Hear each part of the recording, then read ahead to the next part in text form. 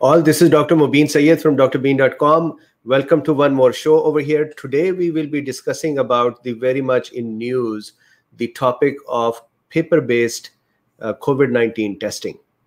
Uh, so right off the bat, I want to talk about this thing that I have not found any test that is at home and is a simple strip of paper that can just be used with the saliva.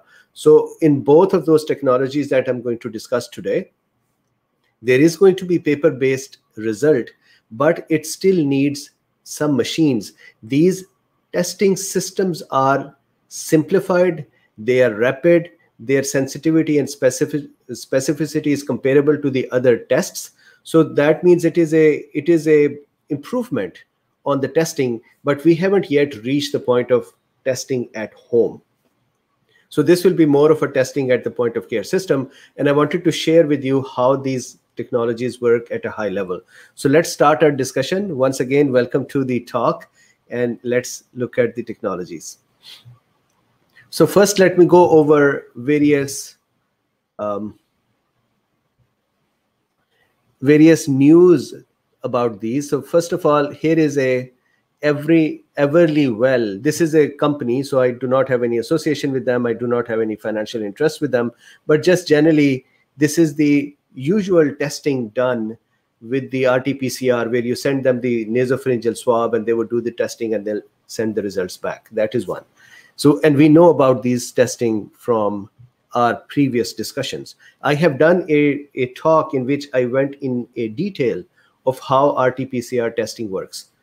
Then there is a newer generation of testing that is saliva-based testing instead of the RT-PCR. So this is one of the uh, articles about this one.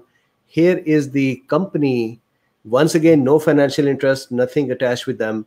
It is a company called Sherlock Biosciences, and they have been making these testing kits which simplify the process of detecting RNA or DNA viruses or other genetic issues with the cell.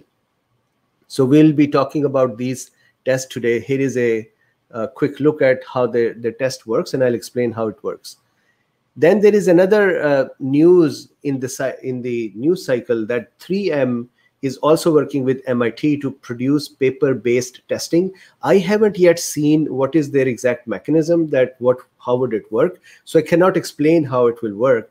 Plus, I have not yet seen any news in here where they've said that here is the way, uh, here is the technology, here are the results. Everything over here so far is this will happen when this will happen this would happen and so on. So it is something in the future. And the the date of if you see over here july 14 here is another news about 3m and again date is july 14 here um, once more spit based testing. And again this would also be somewhere in the future so with these i'm going to talk about two specific technologies today. One is this Saliva Direct.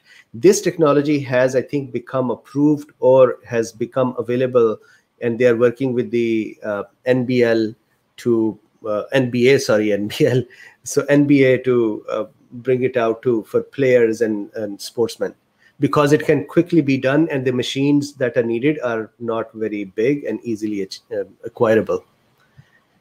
So this is the Saliva Direct COVID tracker. Again, this is their company's uh, site. No financial interest, no interest at all attached with them. But I wanted you to kind of see what their sites are.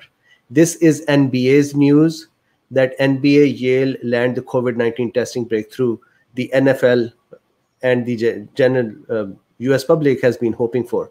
So, again, this is the saliva direct over here, and we'll talk about it. This, this is a um, link from Harvard where their Professor Mina has been saying that, hey, we should have more of these um, paper-based testing to quickly figure out if a patient, if a person is infected by COVID-19 or not, instead of trying to figure out all the uh, antibodies and, and trying to bring the vaccine out. He is saying, why not we make these tests more prevalent and allow these tests to happen almost every at every point of care and very quickly know if people are sick with COVID-19 or not. So interesting idea. I have also linked a couple of videos for how these tests work if you wanted to see their uh, illustrations. And then here is another link that I have put in the description, which shows RT-qPCR. How does that work? I have done a video about it, but I just wanted to collect all that material for you together. So with this, all of these links are in the description. Now let's start how the testing is going or where do we stand. So look, in my opinion, the, the way tests are happening are the following. Number one, there is a question in our mind that am I infected? Do I have the SARS-CoV-2 right now in me or do I have COVID-19 right now? So for these tests, remember there is RT-PCR based tests that have been out there for some time. These are the nasopharyngeal swab that you take and then you send it to, to the lab and then they would do the test and within two, three days, half week, whatever is the time because of the processing, you get the results. And for this one, I actually believe in uh, uh, this um, point that when you send the test out and the test arrives back in a week or two week, at that time, patient has already moved forward. This virus progresses very fast. So these are delayed tests, not very, very useful. Even when it comes back positive, possibly patient has already recovered or is recovering, hopefully, and is not becoming aggravated. So the it this test, RT-PCR, or conventional test nowadays, will result results will come back in days, normally nasopharyngeal swab. So we know that. Then the two more tests am I infected area or in that category. One is the CRISPR based test called Sherlock, and I'll explain that today. Sherlock can give the results within 45 minutes to 60 minutes, and it is a saliva based test. And this is where I think that uh, news media has been kind of, and I can understand clickbaity. I do not make clickbaity uh, the, uh, titles, and my viewership is actually usually less because I don't try to grab the you know attention incorrectly. But I think that in marketing and those things, clickbaity things are important. So many of the the links that I showed you, they say that we have a paper-based test and that can be make, making it very simple. But no, there are machines that are involved, and yes, the final result is on a paper strip. But there still is some more work to be done, and you cannot just these machines are not just available I, I in theory you can go buy them and keep them at home as well but usually they would be at point of care that means in clinic or for example in case of nba in the players uh, you know lockers or those places where they can go and test themselves or in the clinics. So the sherlock is one. The second one in this category that am i infected now is the saliva direct. And saliva direct is the one that is working with the nba now and i'll talk about that too then another category of tests is was I infected? Did I have the um, the infection before and I have recovered? And that is the antibody test. And we all know about the antibody test as well. It can take days. Blood sample is needed instead of saliva for this one.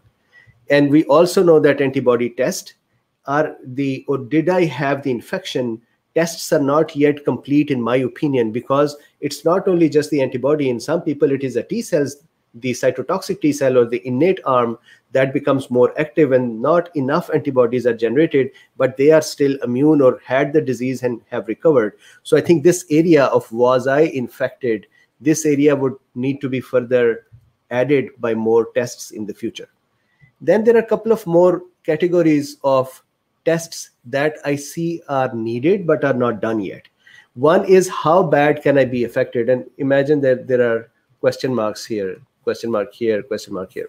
How bad can I be impacted by this virus? So this is where the, just like we have tests for allergies, where a person can go to an allergist, they can do some test on, on their skin, and then come back and say that you may be or you are allergic to, let's say, dander or dust or pollen and so on. Similarly, for COVID 19, at some point, there need to be tests where a healthy person can say, please take my cells and then come back to me and tell me that if I got it, do I have a chance of severe disease? So that then they can be ready and try to figure out how to manage themselves. So such tests are not there yet. And another uh, test set that is not available but i think should be at some point that is that what is going on in my body once I have recovered. So this is for the long haulers that if I have become a long hauler, what kind of tests should I do to figure out is it the immune system dysregulated or is it the virus still present in my body or is it the lung uh, or the uh, tissue damages or a combination of all of those so there is no test protocol for the long haulers yet but in my opinion for exhaustive tests these are the four categories of the tests that are needed. So now i'm going to go back here to talk about these two technologies primarily. These are the spit based test or saliva based test. These are the tests that have been said as the paper based test and many of the clickbaity things are that we have paper based at home test which gives you result in minutes.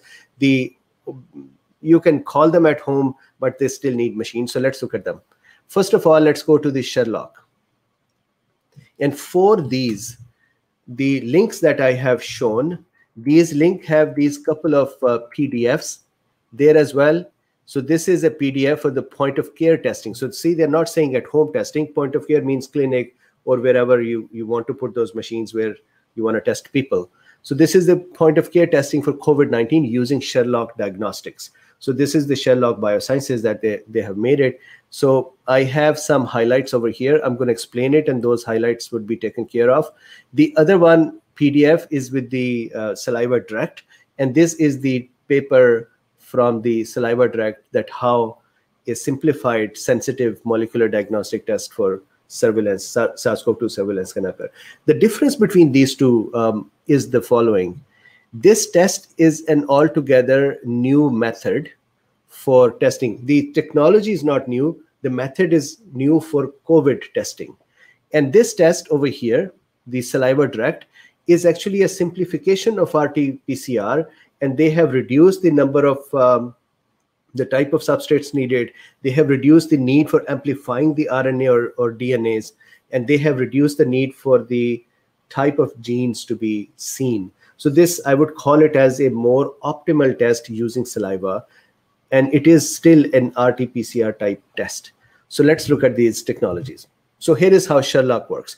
Sherlock stands for specific high sensitivity enzymatic reporter unlocking. And I'll explain what this means. But then you take these some words from uh, letters from here and that makes Sherlock. Here is how it works. First of all, you take a person's saliva and you amplify the RNA in it. And we have done this discussion in the past that how the amplification of an RNA can be done. You can take a piece of RNA and then just keep making copies, and that would then become a lots of RNA. So the first step is amplified RNA. Second step is that, and again, this would be done within 40 to 60 minutes. So it's a fast test. Second test is that inside this um, saliva, in that tube, you also put a protein called reporter for Cas13. So I'll explain what these reporters are, but Cas13 is an important one over here. So Cas13 is added as well. Cas13 is a protein, and I'll illustrate how it works. You can think about it as a scissor that will be cutting various things based on the detection of a specific part of an RNA. So, for example, if the COVID 19 RNA is present and the Cas13 is structured in a way that it can detect that RNA, then it would have a scissors on it that would become active and would cut the re reporters with it. And the reporters in turn are molecules that when they are cut they would fluoresce or they would give emit light and that light can be detected. So i'm going to explain that mechanism how that works but keep in mind reporters are needed and the cas13 protein is needed. So these are added to the amplified saliva rnas so now let's see how this mechanism work the this is called the crispr mechanism and let's see how it works. And I've made a um, mechanical plus electrical diagram to kind of show how this works. So remember, uh, imagine that our objective is that this thing over here, these two molecules are reporter molecules. They are connected with each other, and when they are connected, they do not fluoresce. But if you connect, disconnect them, then one of them would start fluorescing or emitting light or photons that we can then detect. So the objective is that somehow we have to make a mechanism or at the protein level We have to make a mechanism that if it detects the RNA, it would cut the reporters, and the reporters would start giving emitting light, and that light can be then detected, and we can say there is a positive result. So how does that work? So imagine that this is this is a magnet here, and this magnet is a sample RNA. So I'm going to go here first and show how the RNA would itself work. These, are exciting and beautiful technologies. So look, let's say this is this is the SARS-CoV-2 RNA.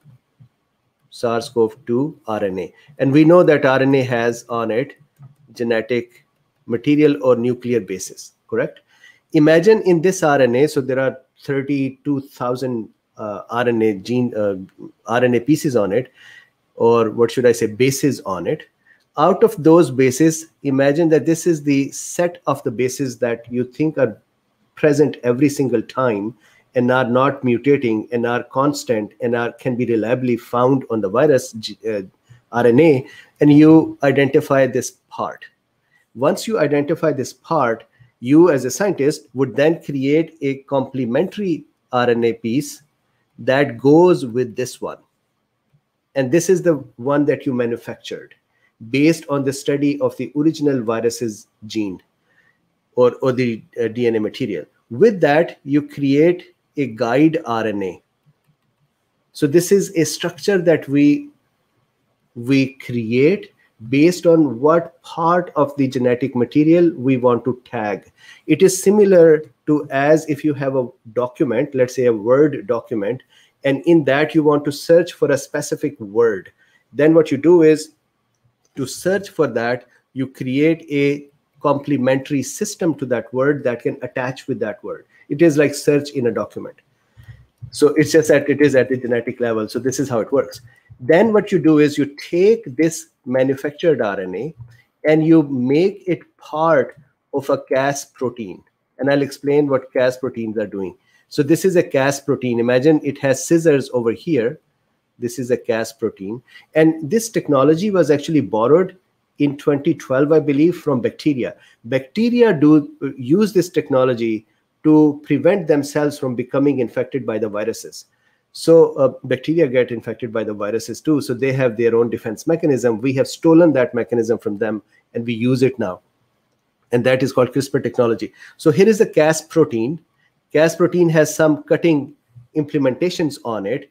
Now we take this RNA guide that we generated and we attach it to the Cas protein.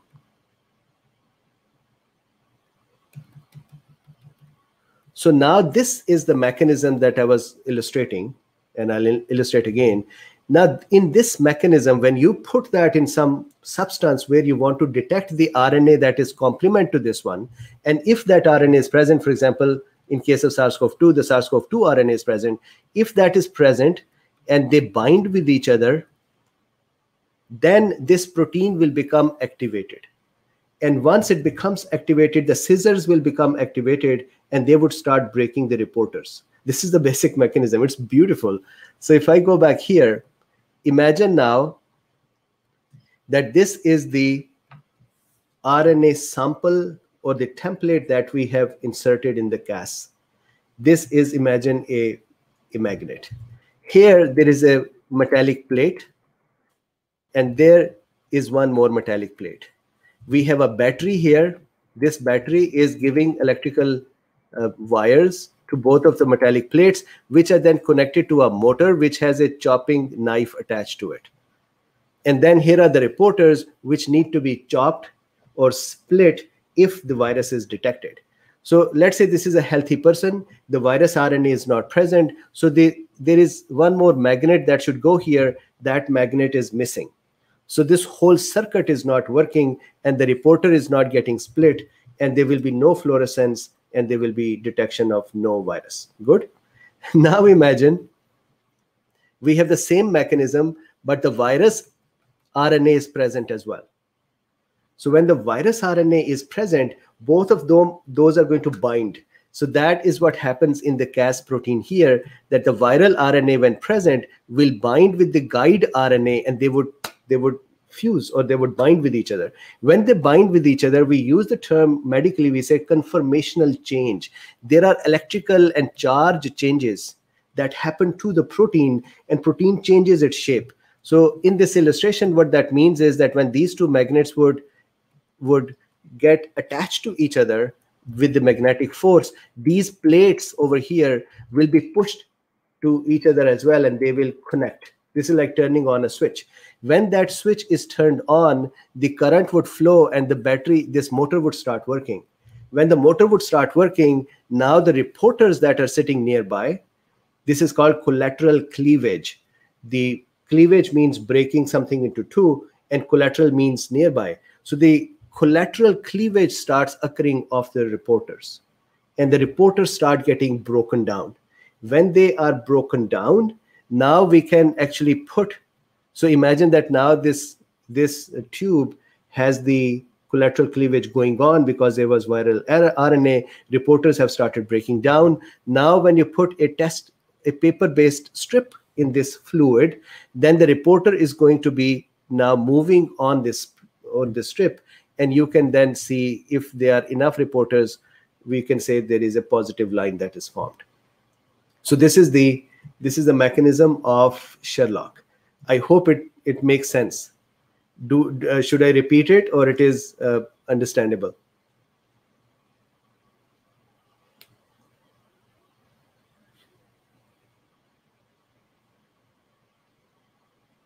So uh, there is a question. Uh, says that is there a test that should be able to be done with the asymptomatic? So as long as there is virus present, asymptomatic simply means that the patient's immune system has taken care of the virus quickly, and so they they still have the virus, and so the the the saliva test over here would still come back positive if the virus load is enough. And I'll show you the saliva load that they can detect is actually very very small. So if you see here, look at this regardless of our tested combination of reagents and instruments from different vendors we found that saliva direct is highly sensitive with a limit of detection of 6 to 12 copies per microliter so this is for saliva direct we didn't talk about that yet but just see 6 to 12 copies per microliter of saliva if the viruses copies are 6 to 12 are present they can be detected and the second thing if you see here now that we're talking about um, saliva direct here the price is really cheap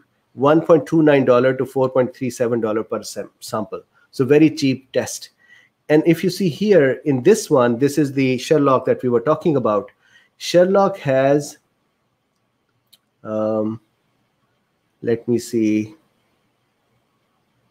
They also, in this document, they have somewhere the amount of uh, the virus copies. So, here, we found that the LOD of the reaction was 100 copies of SARS-CoV-2.